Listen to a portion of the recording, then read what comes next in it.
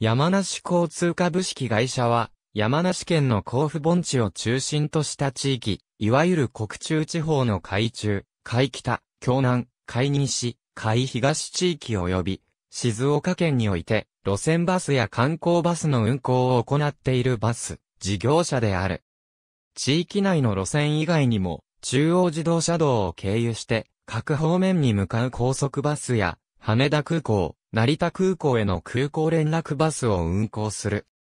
かつては、軌道事業を行っていたほか、国中地方全域に路線バス網を展開していたが、電車線は1962年に廃止され、海北、海東、京南の各地域の路線については代替バスや自治体バスへの移行が進められた。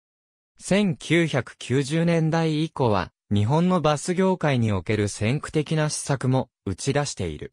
甲府市八日町甲州街道に付設された山梨馬車鉄道付近。大正7年頃の撮影。国中地方における公共交通の葬式となるのは、明治時代の後期に乗り合い馬車が多数設立された頃である。軌道事業については、1897年に設立された山梨馬車鉄道が1898年に甲府と伊沢の間で運行を開始したのが初となる。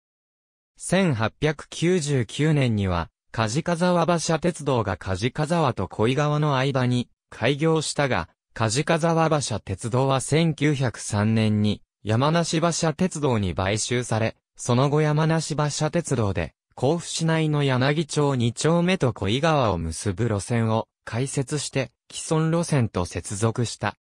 しかし、1903年に中央本線が甲府まで延伸されると山梨馬車鉄道の甲府と伊沢を結ぶ路線が打撃を受けた。このため、山梨馬車鉄道は、路線の縮小を行った上で、1906年に設立された山梨軽便鉄道に事業を譲渡した。山梨軽便鉄道はしばらくは、甲府と梶川を結ぶ路線を中心に営業していたが、電気運転への転換を目論み、1920年12月に、甲府から伊沢、小井川への電気軌道の敷設申請を行った。しかし、この計画への許可が下りる前に、甲府電車軌道の計画が持ち上がった。甲府電車軌道はまだ会社設立こそされていなかったものの、より大きい資本力を有する上、区間も、甲府から伊沢まで、甲府から小笠原を経由して、梶川へ向かうという内容で、山梨軽便鉄道の計画と競合するものであった。しかも、この時期には、富士見延鉄道が見延から甲府までの延伸を計画しており、山梨軽便鉄道が対抗できなくなることは明らかと見られた。そこで、山梨県と甲府市の斡旋により、その事業を甲府電気軌道に譲渡することにした。山梨自動車運輸社屋。甲府市泉町にあった。大正6年頃の撮影。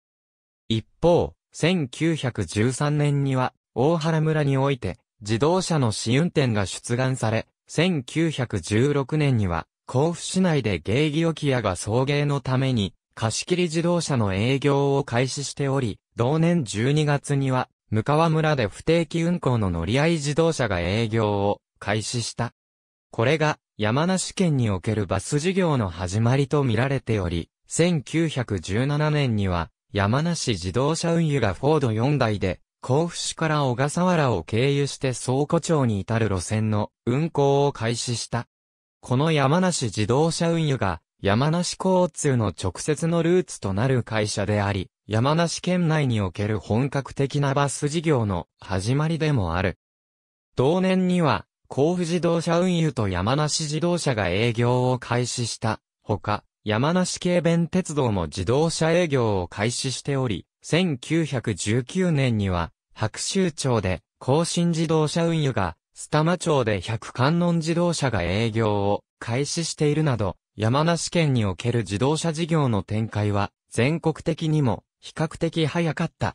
甲府電車軌道は1923年に発足し、1925年に山梨軽便鉄道を九州合併した。1926年8月には、甲府市内の柳町から、増穂村の青柳に至る、軌道敷設許可を得た上で、1928年に着工した。また、1929年には称号を山梨電気鉄道と変更し、青柳から梶川沢に至る区間の延長申請を行っている。1930年5月には、甲府宿川と大井村を結ぶ区間において、電車による営業を開始した。その後も小刻みに路線を延長し、1932年12月26日には、甲府と青柳の区間が全通している。一方、富士見信鉄道が1928年3月に甲府まで全通したことに伴い、馬車鉄道は甲府から梶川沢までの路線が1928年中に、甲府から伊沢までの路線も1930年には廃止されている。また、青柳園の区間については何度か資金難のために着工を延期はしたものの、1936年には着工不能が確定的となったため特許が取り消されている。この時期は、バス事業においても開業が相次いでおり、1923年には、梶川沢に、梶川沢乗り合い自動車が開業したが、ほどなく、山梨自動車運輸に併合されている。このほか、同年には、勝沼に、丸 S 自動車紹介、円山には、鈴木自動車紹介が開業しており、1925年には、草壁町に、天宮自動車紹介、美濃町には、美濃自動車が開業。1926年には、甲府市の三竹開発組合が、小線橋単小バスの運行を開始している。言語が昭和に変わってからもバス事業の創業が続き、1929年には白根町でクラブ自動車、株町には株温泉自動車が開業しているほか、1933年には、富士山六電気鉄道の経営者である、堀内良平が、三坂国道バスを設立し、三坂峠を越えて、甲府と上吉田を結ぶ路線を運行開始しているほか、芝川町にて運行を開始した富士川自動車や、甲府市に設立された山梨甲州自動車など、7社が、この時期までに開業している。山梨電気鉄道も、称号変更前の1927年頃から、数回にわたって、バス事業の申請を行っているが許可されていない。山梨開発協会。1928年頃の撮影。こうした小規模なバス事業者の乱立は、競合による疲弊を招くことになった。甲府と勝沼を結ぶ路線などでは3社が競合し、運賃のダンピングなどによる乗客の争奪戦が激化し、バス事業者の経営を圧迫する結果となった。そのうち、資本力のある事業者が小規模事業者を買収し、合併する機運が現れ始めた。こうした方向性は、交通企業の合理化と交通事業の統制を目的として、1931年に交付され、1933年10月から施行された自動車交通事業法の精神である一路線、一営業主義にもかなうものであった。自動車交通事業法の成立以前に、1927年に山梨自動車運輸は山梨甲州自動車と三竹開発組合と合併して山梨開発協会を設立。1929年には丸 S 自動車紹介、鈴木自動車紹介、天宮自動車紹介が合併して、東部乗り合い自動車を設立した。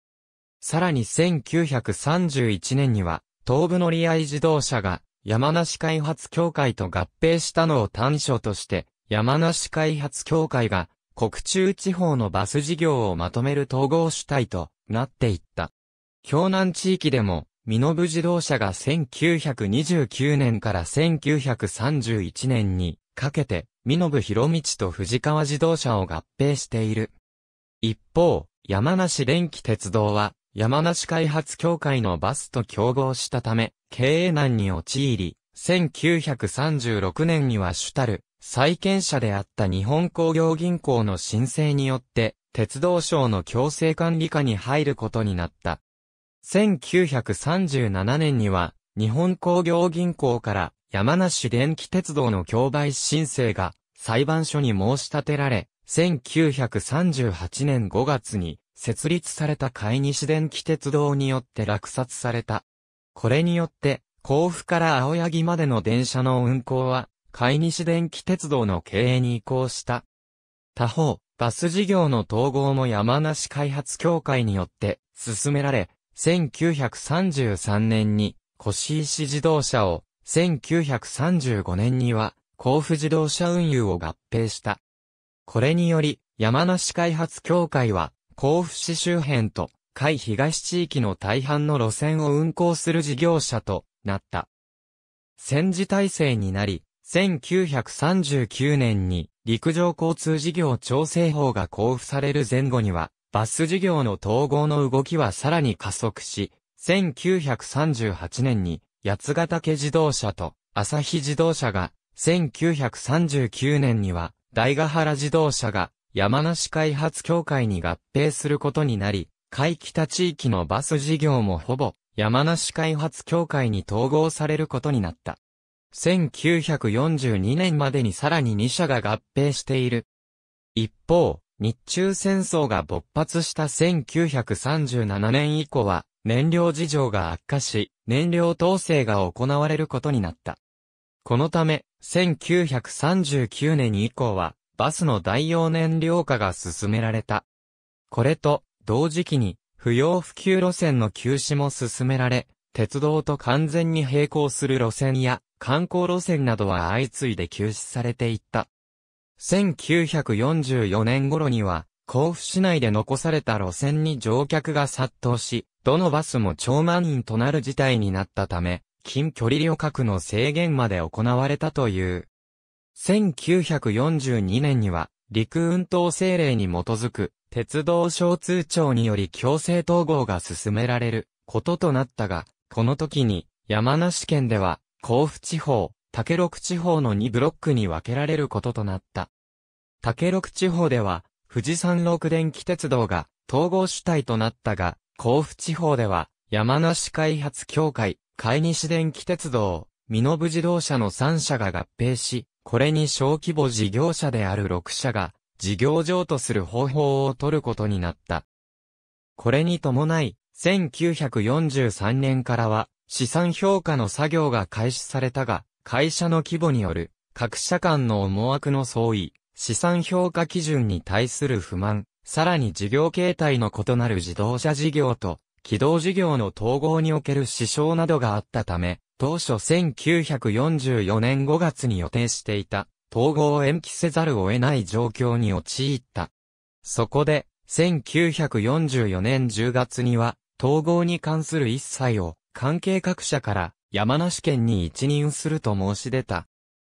山梨県ではこれを受け入れ、山梨開発協会を存続会社として、海西電気鉄道、美濃部自動車を吸収合併し、他社はこれに現物出資するという形態での統合を決定した。このような経過を経て、1945年2月1日に山梨交通が発足した。ただし、統合前の1944年の時点ですでに山梨交通という社名が一部で使用された記録が残っている。戦後間もない頃の甲府駅前を走る山梨交通電車線。昭和21年頃の撮影。統合して新会社となった山梨交通は国中地方の軌道とバスを独占する交通機関となっており、バス事業では統合された事業者の一つである、ミノブ自動車の営業エリアの関係から、静岡県の一部にも乗り入れ、55路線173台を有する一大バス事業者となったが、実際には29路線が休止となっており、実動車両も35台しかないありさまであった。これに対し、電車線は1945年7月の空襲時においても車両が被災を免れていた。いずれも終戦後に復旧整備が開始されることとなり、バス路線は1946年10月に甲府から境川への路線が運行を再開したのを皮切りとして、九州路線の再開が進められた。1947年には新路線の開設も行われ、旧市路線の再開と新路線の開設が並行して行われるようになり、1952年には旧市路線の運行再開は完了した。これに対して、電車線はバスより早い1947年には戦前の状態に復旧している。1950年からは戦時中に休止されていた貸し切りバス事業を再開。1952年には美濃山改装700年記念祭や山梨平和博覧会などに合わせて新車を6台導入するなどして輸送力を増強した。1954年には富士山六電気鉄道との共同出資により貸切バス専業の山梨観光自動車を設立した。1958年には芝川営業所の貸切バス事業認可が得られたことから、静岡県下である芝川町、富士宮市にも山梨交通本体の貸し切りバスの事業区域が拡大されることとなった。電車線においては、1952年3月に国鉄甲府駅構内借用許可を得て、甲府駅構内への乗り入れを計画した。当初は同年中に乗り入れる計画であったが、国鉄側の施設の移転や道路整備の状況などの問題があり、1953年9月に市内のルート変更を行った上で甲府駅へ乗り入れを開始、甲府駅前のバス乗り場も電車線の駅に集約した。なお、1954年には甲府市内の平洋軌道区間の単線化が行われている。1950年代になると、バス路線の新設が多くなり、1955年までには、線上地を遡るように積水寺、足安、保坂、増富、小淵沢、内線、上食式へと乗り入れを開始、1960年までにはさらに、奈良田、小泉、清里、切れさえと路線網を拡大した。また、この時期は長距離バス路線への進出も目立ち、1954年7月1日から静岡鉄道との相互乗り入れによって、甲府と静岡の間を結ぶ急行バスの運行を開始したほか、1958年12月に国道20号の新笹子トンネルが開通したことを契機として甲府と大月を結ぶ路線を富士山六電気鉄道との相互乗り入れによって運行を開始した。1959年2月からは、諏訪自動車との相互乗り入れによって、甲府と上諏訪を結ぶ路線を、同年6月には、千曲自動車との相互乗り入れにより、甲府と小諸を結ぶ路線の運行を開始した。また、新笹子トンネルの開通を前提に、富士山六電気鉄道及び、京王帝都電鉄との3社で申請していた新宿と小仙橋を結ぶ路線の免許が下りたことから、1959年7月5日から日曜、祝日のみ、運行の季節路線として運行を開始したが、これが中央高速バス交付線の原型とも言える路線である。しかし、このバス路線網の拡大の一方で、電車線の利用客が山間部まで直通するバスに転移し、電車線の経営状況は悪化していった。その上、1959年には、台風7号によって、区川の車庫の倒壊や、路盤流出などの被害があったほか、復旧途上に台風15号が被害を与え、復旧費用がかさんだために、電車線の経営状況の悪化に拍車をかけることになった。そのような状況下、ボロ電を都会的な電車にしようと、当時の山梨県から見て、都会の電車であった国鉄101系電車に似せたオレンジ色一色に車両の色を変更するといったことも行われていた。この頃の山梨交通では関連事業にも着手している。観光業務に重点を置くという方向性のもと、八ヶ岳山麓にバンガローや観光バスセンターの建設に着手したほか、地下鉄池袋駅構内に観光案内所を開設した。山港総動電車線は、バスとの競合や自然災害などで不審であったものの、バス事業については黒字を計上し、1960年代に入る頃には、山梨交通は、県内では、最大の企業となっていた。しかし、この時期の山梨交通の経営状態はかなり悪化していた。当時の経営者の放満経営に問題があったと言われており、県会議員や大株主の依頼を受け、国際工業の車種であった長野健治が山梨交通の再建に当たることになった。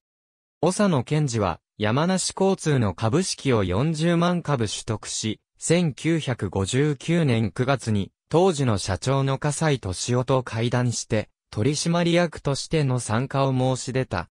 この時点で、すでに、長野健治は山梨交通の個人筆頭株主であった。長野健治は山梨県出身であり、山梨交通の経営に参加する目的も、郷土の企業発展と観光振興に力を貸したい、というものであったが、当時の経営陣は、東京の事業家の進出に危機感を抱いた。衆議院議員でもあった葛西は、同じく衆議院議員でもあった堤康次郎に全面的支援の約束を取り付け、社長一族が主導権を握る目的で株式の買い占めにかかったため、事態は株主総会までにどちらがどこまで株式を買い集められるかという長野検事と火星の株式争奪戦の様相を呈した。さらに、火災は株主総会直前に取締役会で静岡市に設立された駿河観光の買収を決議したが、この駿河観光は実体のない会社で火星の持ち株比率を高める策略であった。1960年の株主総会は、火災が招集した西武鉄道の社員が大半を占めている状況下で行われ、駿河観光の買収は可決されたが、長野健治は、この議決について、執行停止の仮処分を申請し、法廷闘争へ移行する事態となった。新聞では、長野健治と山梨交通の双方から声明文が出され、多くの山梨県民に山高騒動としてこの状況が知られることになった。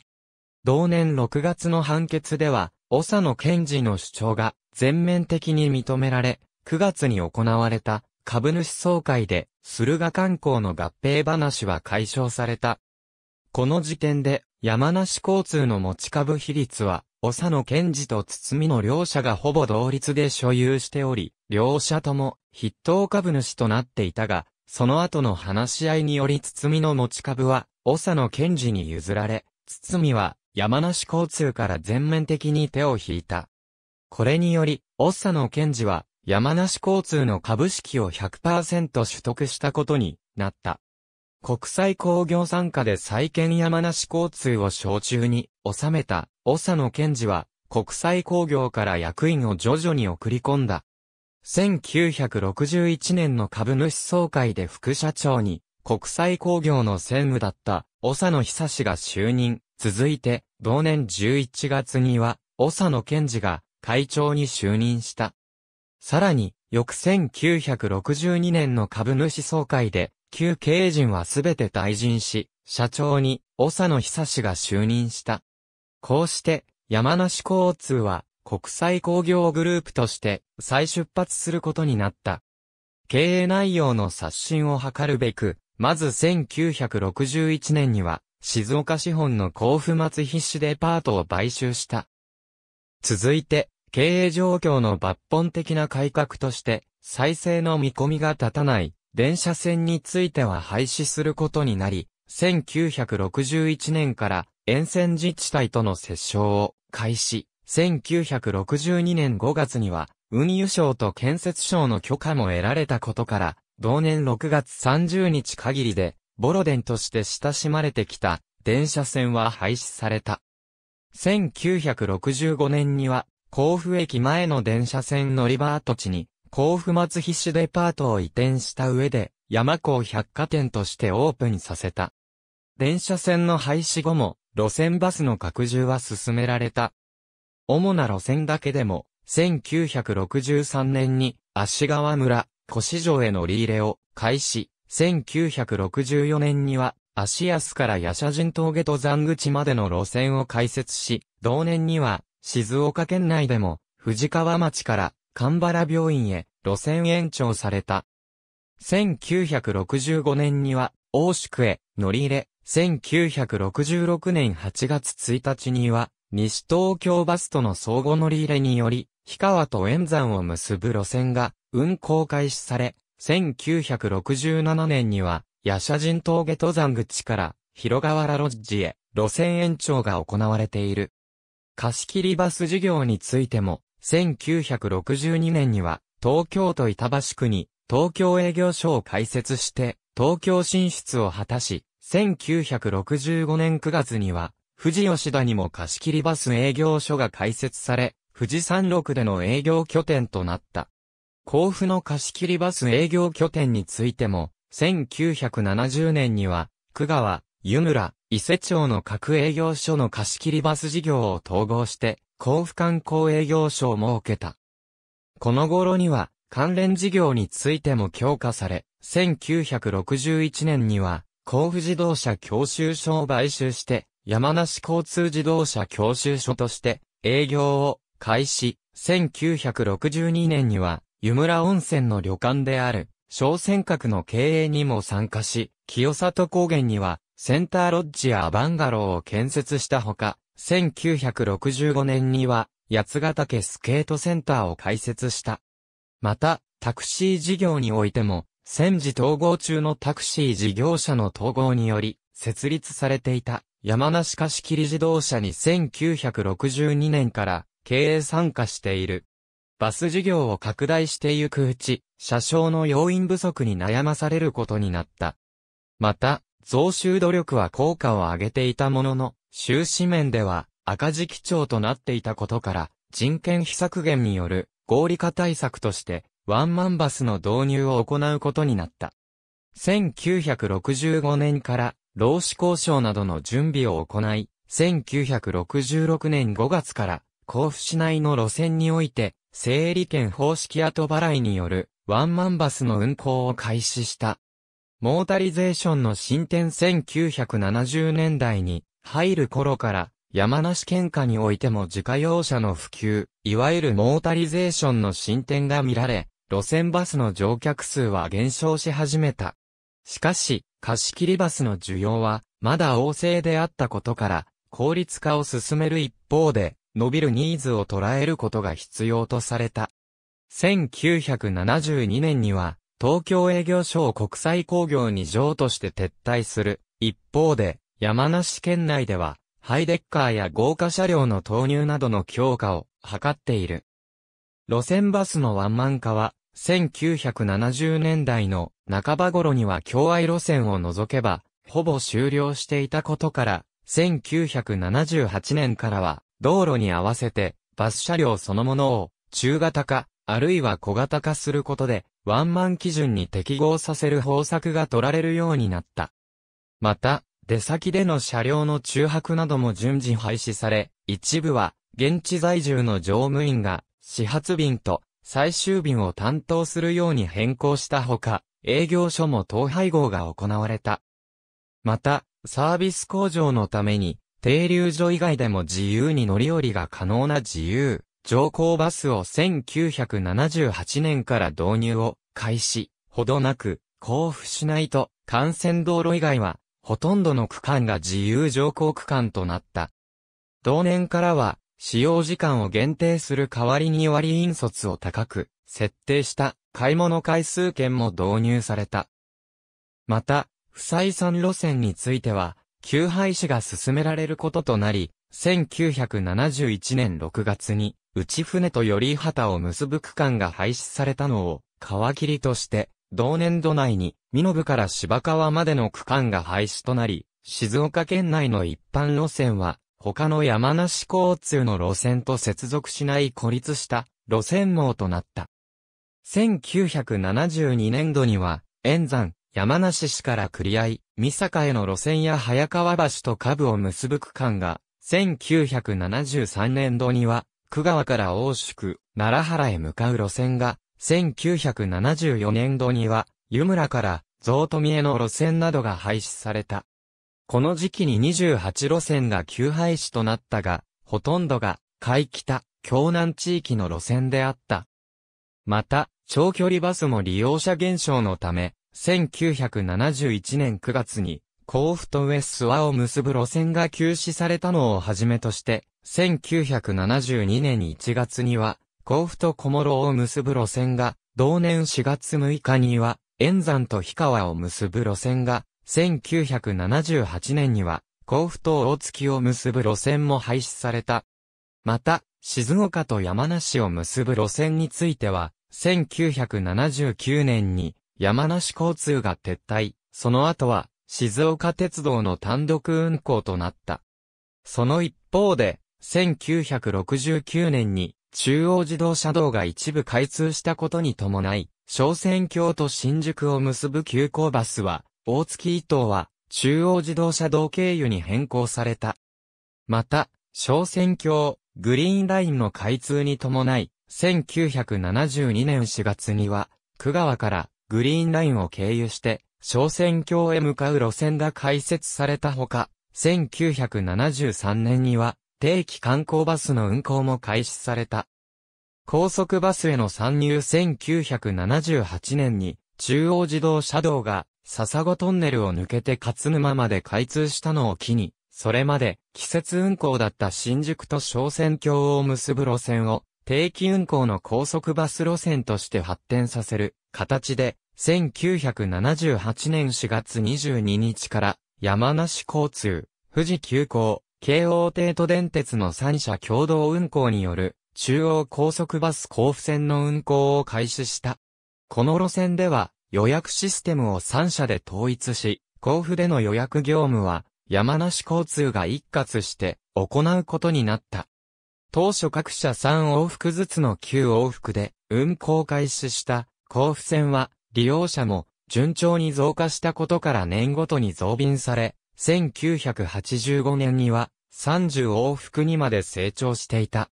中央自動車道が全通すると、新宿と長野県を結ぶ高速バスが注目され、京王帝都電鉄と稲バス、新南交通が新宿と稲、飯田を結ぶ路線の運行を計画していた。当時は、まだ長距離路線における、ルールのようなものが確立しておらず、山梨交通では、稲、飯田線への参入を希望した。道路線には、富士急行、諏訪バスも参入を希望しており、右余曲折はあったものの、1984年12月に、稲、飯田線が開業した際に、山梨交通では、新宿と駒金を結ぶ系統の一往復を担当することになった。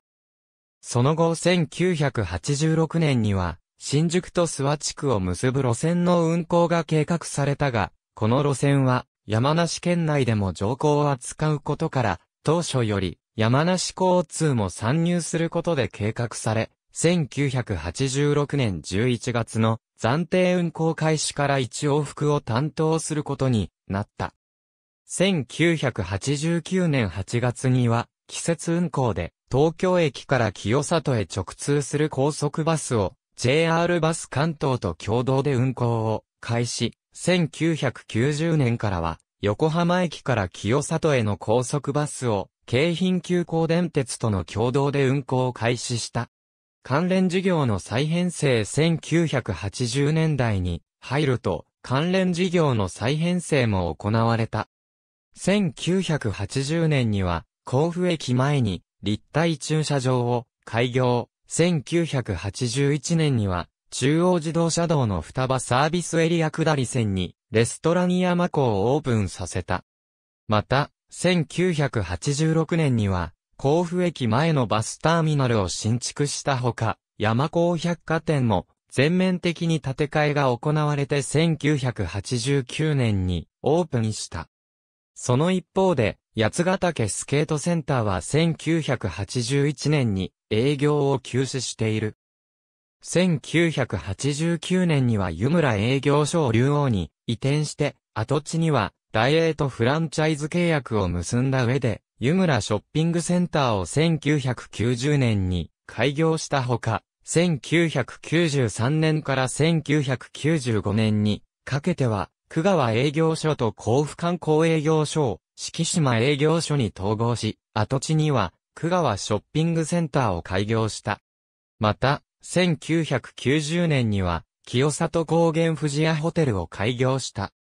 さらに、1989年には、小尖閣を建て替える形で、甲府富士屋ホテルを開業している。系列の貸切バス専業事業者であった山梨観光自動車は、1989年に富士急行の保有していた全株式を山梨交通が譲り受けし、山梨交通直系の事業者となった。これに合わせて、富士急行は1985年に平和観光自動車を設立した。続く、一般路線バスの縮小一方、一般路線バスの縮小傾向は続いていた。1982年度には15系統、1983年度に16系統、1984年度には25系統が廃止となり、富沢町、南部町、下部町、三玉町、中富町、大泉村、長坂町、梶川沢町では、山梨交通の路線がなくなった後に、道路運送法101条に基づいて、自家用バスを使用した廃止代替バスの運行を開始した。平成に入ると、第三種生活路線の国庫補助期限切れなどにより、さらに路線の廃止が進められることになった。1989年には、足川村への路線を廃止、1990年には、韮崎と小笠原を結ぶ路線が廃止された。1991年からは、自治体バスへの移行だけではなく、道路運送法24条の2を適用した貸切免許による代替バス運行も行われるようになり、長坂と小淵沢を結ぶ路線や百観音から日の春方面への路線が自治体からの委託による貸切代替バスでの運行に切り替えられた。その後も不採算路線に対する自治体バスや貸切代替バスへの移行は続き、1995年には、梶川沢と美延の間の路線が繋がらなくなった。さらに、1995年10月には、牧岡町の路線が廃止された際に、地元のタクシー会社に委託することになったため、すでに運行されていた沿山地区の貸切代替バスから山梨交通が撤退した。1997年には、山梨交通は山梨市から全面撤退した。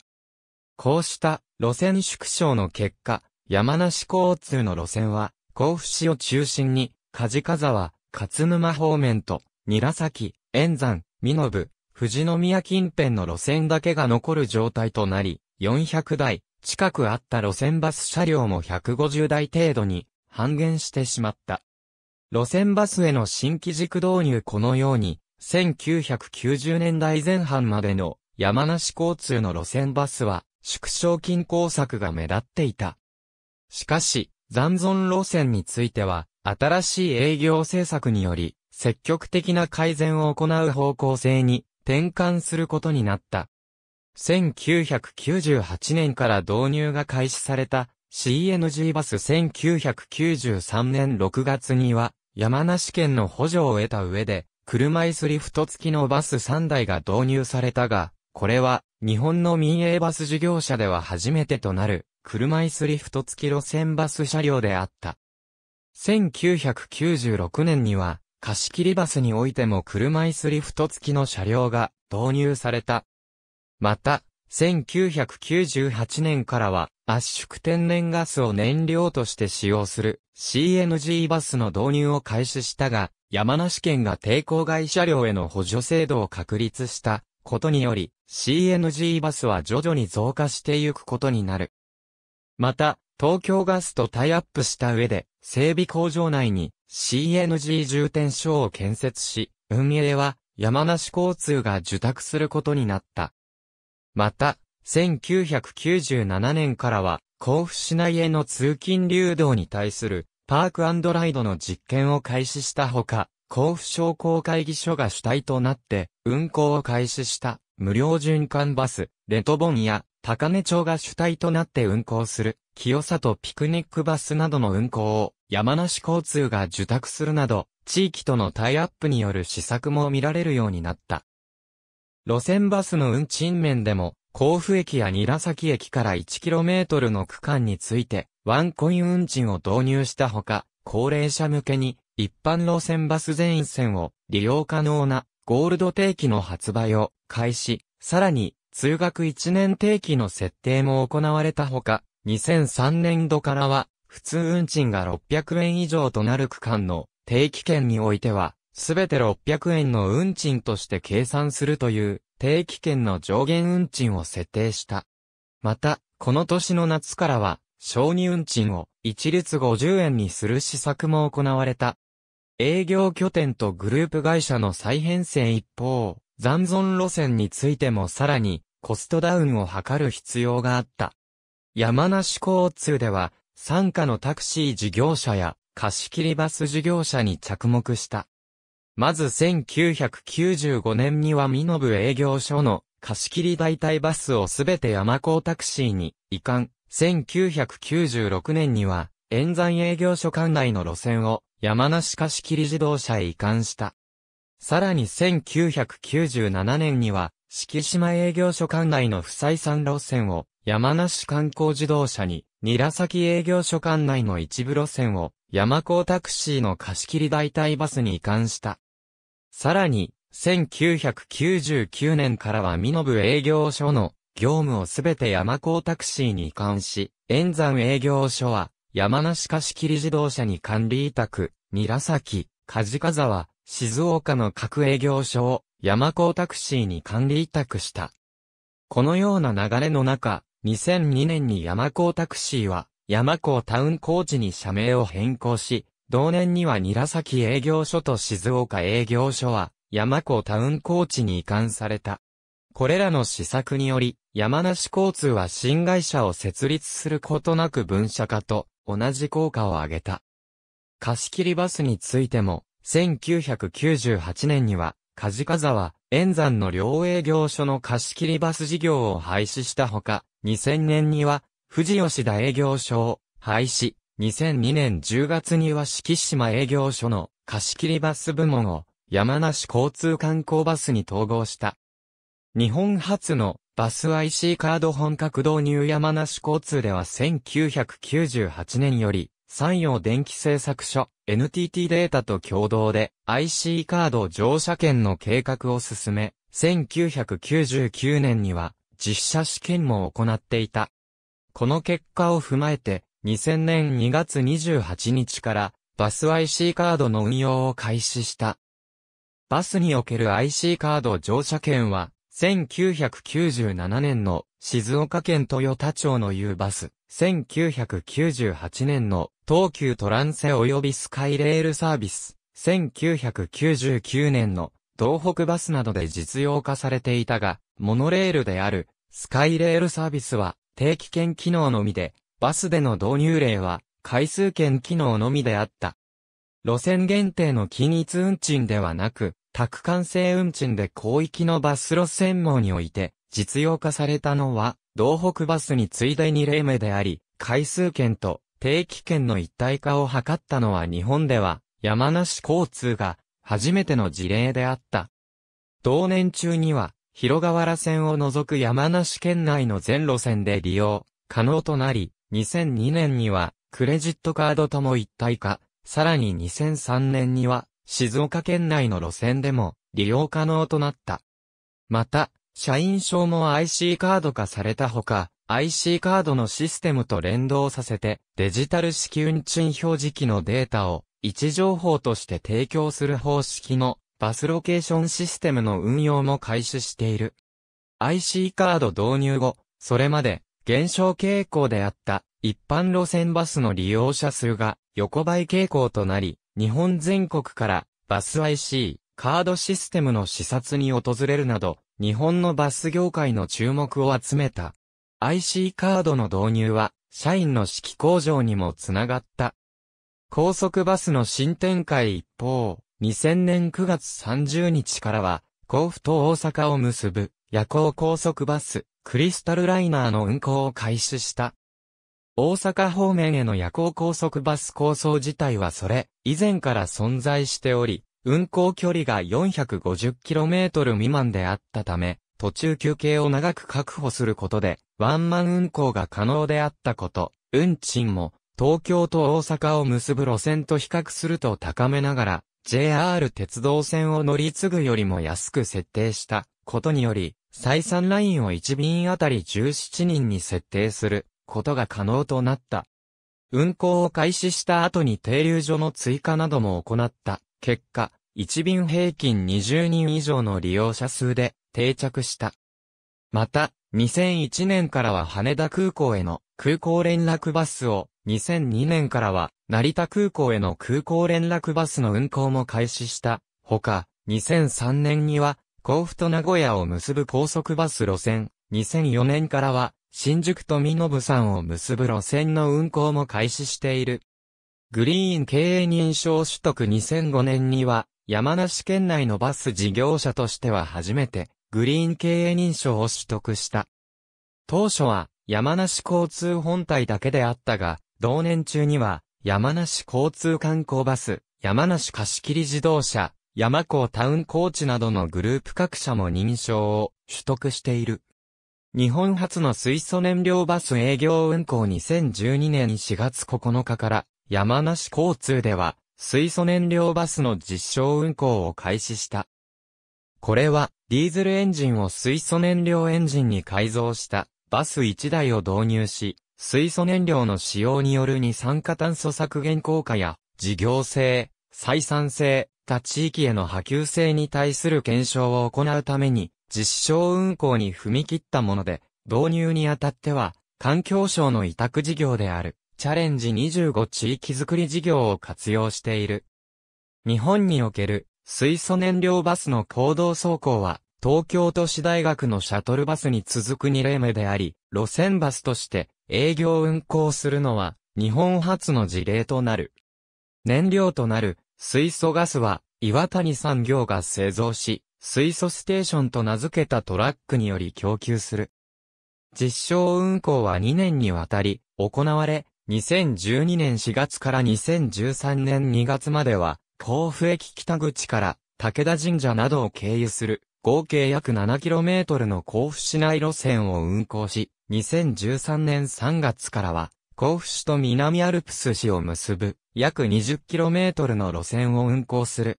車両は、京浜急行バス杉田営業所から移籍した日のリエッセを改造したもの。水素燃料バスへの改造は、東京都市大学と同様にフラットフィールドが手掛けた。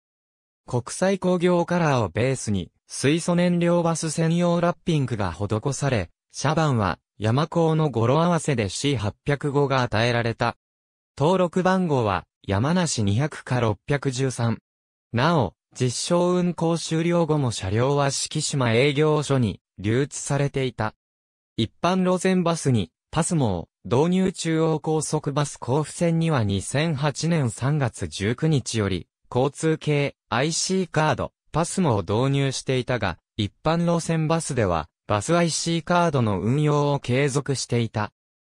しかし、2015年2月、山梨県からの補助金を活用して、路線バスに、パスモ、スイカなどの交通系、IC カードを2015年度後半をめどに、導入すると一部新聞報道がされ、同年8月5日に山梨交通からパスモ導入に関しての公式な発表が行われた。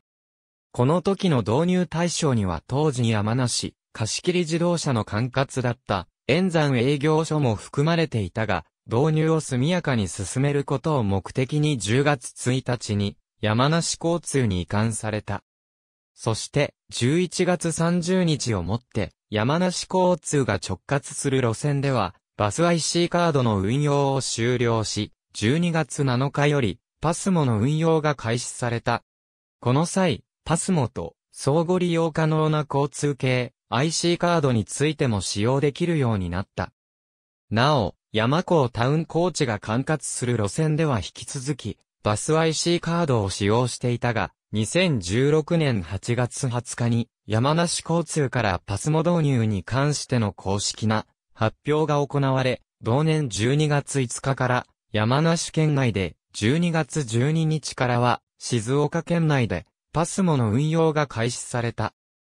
子会社を統合し一社体制に、アメリカの投資ファンドである、サーベラスキャピタルマネジメント社によって、親会社の国際工業が再生を受けていたが、その過程で行われた持ち株売却の流れの中で、国際工業の持ち株を山梨交通の役員が買い取ったため、2014年7月時点で山梨交通は国際工業のグループ会社ではなくなっている。業務の効率化や運営系統の一元化、運転手不足対策のため、自動車学校、トラベル事業を順次吸収合併し、2018年10月1日をもって最後まで残った子会社の山港タウンコーチを吸収合併し、統合が完了した。前身となる山梨馬車鉄道が1898年に馬車鉄道として運行を開始したのが短所である。その後、1930年からは電車による運行を開始したが、1962年6月30日、限りで廃止された。甲府盆地を主要なエリアとしており、2005年時点では、約100系統の路線を運行している。甲府以外では、円山駅、韮崎駅、美延駅、藤川駅などを起点とする路線バスがあるが、1980年代に整理、縮小された上2000年代までに山梨貸し切り自動車や山港タウンコーチといった子会社へ移管していた。ただ、歴史説で述べたように2010年代後半から山梨交通の直営に戻す動きがあり、2018年の山港タウンコーチの吸収合併をもってすべて山梨交通に統合された。路線や区間については各営業所の項目を参照。海野市、南アルプス市、韮崎市、北斗市、中央市、市川三里町、藤川町、美濃部町の市町村営バスコミュニティバスの受託運行を行っている。中央高速バス、甲府線竜王、甲府名古屋線1959年に季節運行の急行バスとして新宿甲府、商船協館が開設されており、その後中央自動車道経由に変更していたが、これを発展させた形で、中央高速バス交付線として、運行を開始したのが、山梨交通の高速バスの短所である。中央高速バス以外の路線については、2000年に夜行高速バスとして、クリスタルライナーが開設され、その後も次々と路線が開設された。1978年4月22日より運行開始。当初9往復であったが、一時期は30往復にまで増便された。当初は自社便を自社の収入とするシステムであったため、ダイヤ改正がなくても担当便を1年ごとにずらす方式をとっていた。当初は、伊沢経由便のみであったが、1983年1月19日から、甲府南経由便も設定された。2002年6月1日からは、湯村温泉へ、2015年2月10日からは竜王へ、2015年5月2日からは、富士急上、阿原車庫へ、それぞれ一部便を延伸。京王バス、富士急バスとの共同運行。2004年8月6日に運行開始。当初は山梨交通の単独運行であったが、同年11月から京王バス東との共同運行路線となった。2018年10月に京王バス東担当便の一部が、京王バス東が撤退した中央市、南アルプス市線の保管として、中央市経由美延発着の運行を開始した。1987年7月1日から運行開始。京王バス、富士エクスプレスアルピコ交通、JR バス関東との共同運行。山梨県内では、昭和小淵沢間で乗降扱いが行われる。1984年12月14日より運行開始。京王バス、富士エクスプレス、伊那バス、信南交通との共同運行。歴史港にもある通り、山梨県内での乗降が行われない路線である。甲府駅湯村温泉敷島中町竜王、韮崎駅霧の木中央道、スタマ中央道長坂高根中央道、八ヶ岳中央道、小淵沢京都駅八条口名神、大山崎名神、高槻名神茨城インター梅田港町、バスターミナル大阪阿部の橋、ユニバーサル・スタジオ・ジャパン2000年9月30日より運行を開始した山梨交通では初となる夜行高速バス。2001年9月20日からはスタマインターチェンジ経由に変更。2004年3月19日からは中高便も設定された。近鉄バスとの共同運行。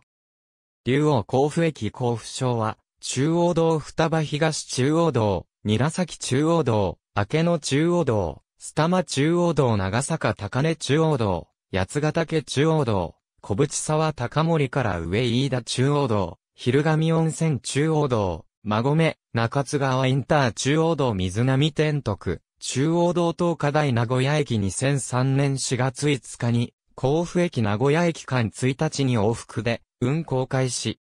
当初は山梨交通の単独運行で同年9月1日に停車停留所が5つ増加し、さらに2004年7月17日に、甲府昭和バス停が新設された。その後2005年に1往復が増便された。JR 東海バスとの共同運行。竜王甲府駅山梨学院大学伊沢、一宮勝沼羽田空港海野市、甲府市、笛吹市、甲州市と羽田空港を結ぶ空港連絡バス路線。京浜急行バスとの共同運行。2001年7月18日に中央自動車道経由で運行開始。2004年12月1日、羽田空港第2旅客ターミナル開業により、同ターミナルに停車開始。2006年3月1日から3月31日の間、試験的に1往復増便して3往復となる。2009年3月1日より1日4往復に増便。それまで早朝のみであった甲府発車便が9時台にまで引き下げられ、夜遅くのみであった羽田空港発車便についても14時台の設定が登場した。2010年10月21日、羽田空港国際線ターミナル本格開業に先立ちダイヤ改正、同ターミナルへの停車を開始。2014年7月18日より、山梨学院大学への停車を開始。横浜線は、単独路線として2014年7月19日より、土日祝日学9期のみ首都圏中央、連絡自動車道経由で、運行開始。京浜急行バスとの共同運行。2021年4月16日羽田空港線と横浜線は統合され、従来ルートの羽田空港直行に往復と、横浜経由の羽田空港発着の2往復。いずれも毎日運行となった。竜王甲府駅山梨学院大学伊沢、一宮勝沼成田空港海野市、甲府市、笛吹市、甲州市と成田空港を結ぶ空港連絡バス路線。千葉交通との共同運行。2002年9月19日に運行開始。2003年11月21日、1往復増便4、5往復となる。2004年11月1日より、山梨学院大学に停車開始。2005年9月1日、1往復増発し6往復となる。2019年11月1日より1往復が東京ディズニーランド経由となる。新型コロナウイルス感染症の流行に伴い、2020年4月4日以降は、運休中。竜王甲府駅甲府昭和西八幡退場今、諏訪美信靴谷三松から新静岡静岡駅、前2012年7月20日より9月30日までの期間限定予定で運行開始したが、10月1日以降も通年運行となった。静鉄ジャストラインとの共同運行、1日に往復。当初は甲府市、海野市、南アルプス市、静岡市にのみ停留所を設けていた。2012年12月1日に時刻を変更し、2013年2月1日には、南駒郡美延町に、美延停留所を追加。2014年10月1日には、道の駅と三沢停留所を追加した。2017年2月1日より、土、日宿日のみ運行となる。2019年6月29日から中部横断自動車道一部開通区間延長により運行ルートを変更。道の駅と三沢停留場を廃止し、美延停留場美延に変更。新型コロナウイルス感染症の流行に伴い、2020年8月31日から2021年8月28日は運休した。2021年8月29日午後発便から中部横断自動車道が全線開通により、ダイヤ、一部停留所変更の上、運行再開と発表。土日曜、祝日のみの運行。美延町での乗降扱いは、山梨交通美延営業所に変更された。2015年3月14日に運行開始。それまで高速バス路線がなかった中央市を経由する運行経路。路線愛称は南アルプス市内の小学5年生から募集したもので587点の中から最優秀に選ばれたものを採用した。愛称には東京の人に南アルプスの自然を知ってほしいとの思いが込められている。当初は山梨交通の単独運行であったが、同年7月から京王バス東との共同運行路線となった。2018年10月に山梨交通単独運行に再び戻っている。新型コロナウイルス感染症の流行に伴い、2020年9月1日以降は運休中。かつて運行していた高速バス東京清里、八ヶ岳高原線タクシー事業は、山梨交通から1970年に山高タクシーに譲渡され、後に山高タウンコーチに改称した。2017年10月に同じくタクシー事業を営む山梨貸切自動車を吸収して YK タクシーのブランド名でタクシー事業を展開していた。2018年10月に山梨交通へ復帰した後も YK タクシーブランドで営業している。山梨県内に8カ所、静岡県内に1カ所の運行拠点を有している。2019年4月時点でのバス営業所は以下の通りである。いずれも山梨交通の営業所。廃止順に列記する。本校では山梨交通の車両概要を記述する。また、便宜上、一般路線バス車両については、路線車、高速路線バス車両については、高速車、貸切バス車両については、貸切車と表記する。創業期から終戦直後山梨交通の直接のルーツとなる山梨自動車運輸では、フォード4台を使用して運行を開始した。燃料事情が悪化した戦時中はバスの代用燃料化が行われていた。代用燃料については、木炭が主体で、他に、焚き木や石炭が利用されていたとされている。この頃には、国産車として、トヨタの車両が使用されていた記録が残っている。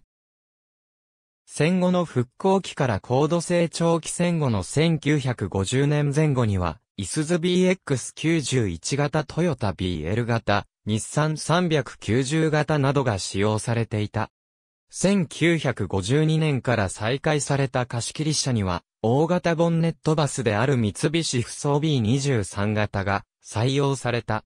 また、この時期からリアエンジンバスの導入が始まり、民生 BR32 型などが導入されている。1954年以降は、日野のセンターアンダフロアエンジンバスである BK11 型が路線車の主力として導入された。この頃から全長が10メートル級の大型車の導入も開始されている一方、ボンネットバスの導入は1963年式を最後に終了している。1960年代には、イスズ BA741 型が路線車の主力となっていた。この時期以降、山梨交通のイスズ車は、川崎車体で導入される。また、この時期までは、路線車と貸切車の車体スタイルは共通であったが、この後は別の車体スタイルとなる。また、特定の路線のための車両も導入されており、1966年には、円山と氷川を結ぶ路線の専用車として三菱、フソ MR620 型が、広川原専用に、イスズ BA01 ノルマル型が導入されている。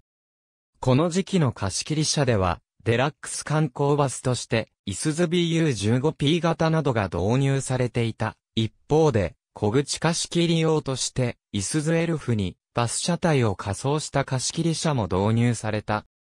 この時期に、国際工業の参加に入ったことから、山梨交通におけるイスズ以外のメーカーの車両は、1960年代後半に貸切車として導入された。三菱不装 B905N 型を最後に途絶えることになる。ワンマン化から路線バスも縮小期まで1966年にワンマンバスが導入されたことに伴い、全中非使用の車両導入が開始された。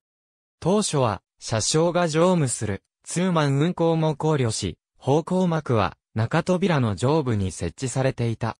1978年からはワンマン運行の拡大に伴い、中型バスもワンマン化対応となった。大型路線バスの導入は、この頃から1989年まで途絶える。この頃には、中央高速バス甲府線の運行が開始され、山梨交通では、当初より、イスズ CRA580 型ハイデッカーを導入したが、当時の高速バスでは、ハイデッカーは、まだ希少な存在であった。国際工業グループに入ってからは、新車の導入は、基本的に、イスズ車に統一されているが、譲り受けた車両や、受託運行用の車両においてはこの限りではない。2018年10月1日時点で、山梨交通全体で232台のバスを保有している。路線車の使用路線バスは、全中非使用、中扉は、引き戸が基本仕様であるが、1989年から1994年までに導入された車両では前後、扉仕様で導入を行っていた。冷房車は1977年以降の新車で導入された。1980年代は大型車の導入は行われていなかったが、1989年からは大型車の導入も再開された。細かい仕様の違いとしては、1981年式から全面方向幕の幅が広くなり、1983年式からは天地方向にも拡大した大型方向幕となり、1988年からは後部方向幕の装備も開始された。また、扉脇の出入り口表示については、1987年式までは伝承式だったものを1988年からは表示板に変更した。このほか、ミノブ地区の路線用として、日のレインボー RB の導入実績がある。2001年以降に、新車で導入された路線バス車両は、すべてノンステップバスとなっている。また、2007年までは、静岡営業所に導入される車両を除いてすべて、天然ガスバスであったが、2008年以降は、山梨県内の営業所においてもディーゼルエンジン車を導入している。その一方、1998年までは新車のみの導入であったが、1999年からは中古車の導入が開始された。路線バスでは主に親会社だった国際工業から移籍してくることが多く、特に2007年に国際工業から転入した大型ノンステップバスは日本で初めてのノンステップバス譲渡事例である。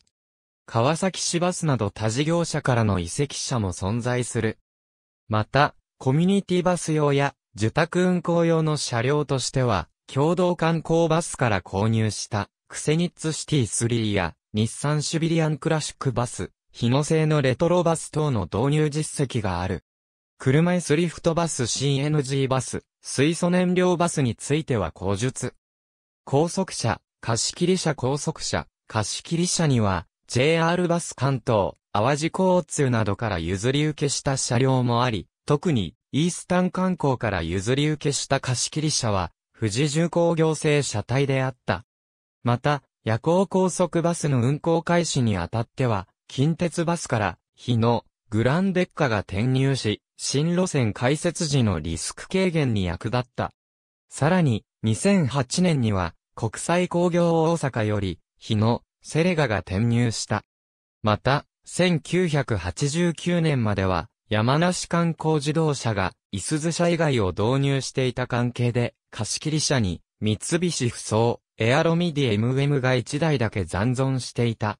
2021年10月から12月まで、日の丸自動車工業より、スカイバス東京のネオプランスペースライナーのオープントップバスを借り入れ、甲府駅から小仙峡への日帰りツアーを運行している。中型 CNG ノンステップバス、山梨県が独自の補助金制度を導入していることもあり、特殊な車両の導入においては、日本のバス業界でも初期の導入となるケースが見られる。路線車の塗装戦後の塗装デザインは、緑色をベースとして、屋根と窓周りに山吹色に近い黄色、裾にはオレンジ色で波形としたデザインであった。この色は1968年頃まで使用された。1954年には、パールホワイトにローズピンクのラインとグレーの翼模様を入れたデザインが導入された。当初は貸切車のデザインであったが、路線車もこのデザインに変更された。ただし、塗り替えはほとんど行われなかったため、先代のカラーリングもしばらくは見ることができた。1988年から採用された塗装デザインは、クリーム色をベースとして、ブルーのラインを後部で立ち上がるようにデザインし、腰板前方には、ワインレッドを配した上、ブドウのステッカーを調布したものであった。その前のカラーリングの車両も1995年までに塗り替えが行われた。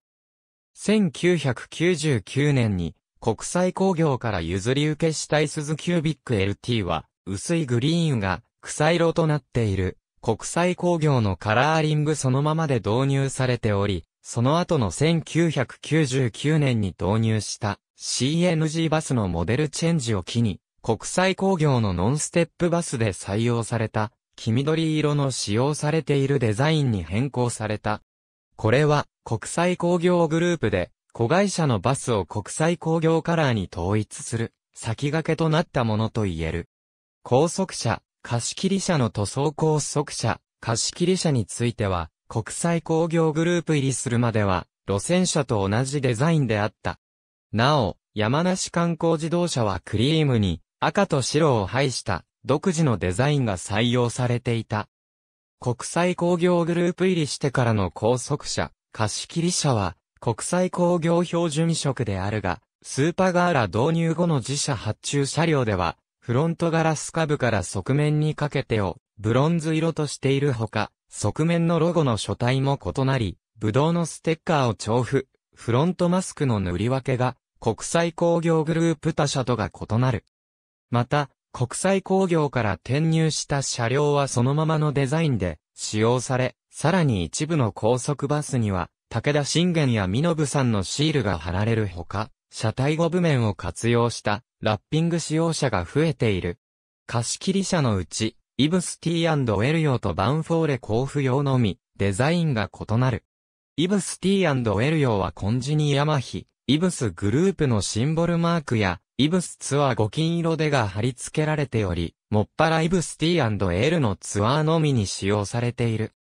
バンフォーレ交付用は、車両自体は、山梨交通所有のため基本デザインこそ、国際工業標準色であるが、側面のブドウの部分がバンフォーレ交付のエンブレム、前面フロントガラス下部及び、側面後方部にはバンフォーレ交付のロゴが調布されている。これらのバスはバンフォーレ甲府の選手、スタッフが遠征するときに使われ、選手を乗せているときは、前面フロントガラス上部に大型フラッグを掲出し、運転席部分にはバンク人形が置かれている。なお、バンフォーレ甲府が使用しないときは、他の車両と共通で使用されている。山梨交通の所属車両に付けられている記号は、A 文字1字、3桁以内の数字で構成される。ただし、コミュニティバスやグループ各社では、登録番号がそのまま使用される。先頭の A 文字については、以下の法則による。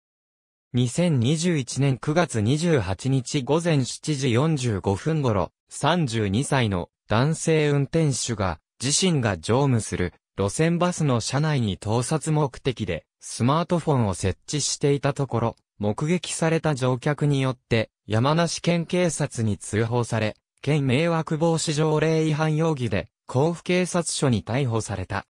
ありがとうございます。